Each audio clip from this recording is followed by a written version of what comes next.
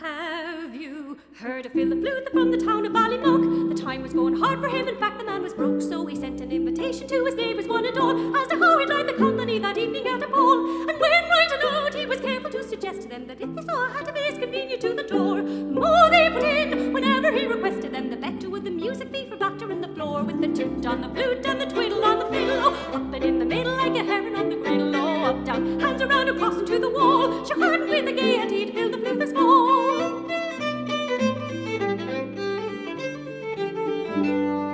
There was Mr. Dennis Doherty who kept a running dog. There was little crooked Paddy from the Tiraloughett bog. There was boys from every barony and girls from every art. And the beautiful Miss Brady's in the private house and cart. Along with them came Bouncer Mrs. Cafferty. Little Mickey Mulligan was also to the fore. Rose Suzanne and Margaret Rafferty. The flower of Ardmagullion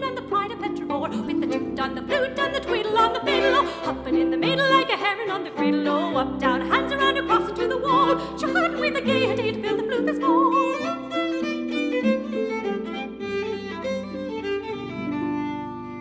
First, little Mickey Mulligan got up to show them how, and then the waiter Cafferty steps out and takes a bow. I'll dance you off your legs, as she as sure as you were born. If you'll only make the piper play, the hair was in the corn. So Phil played up to the best of his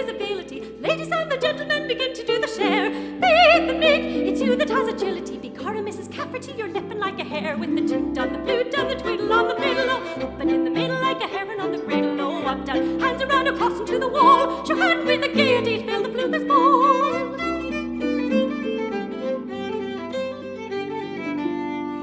Then Phil the Fluther tiptoeing to little crooked Pat.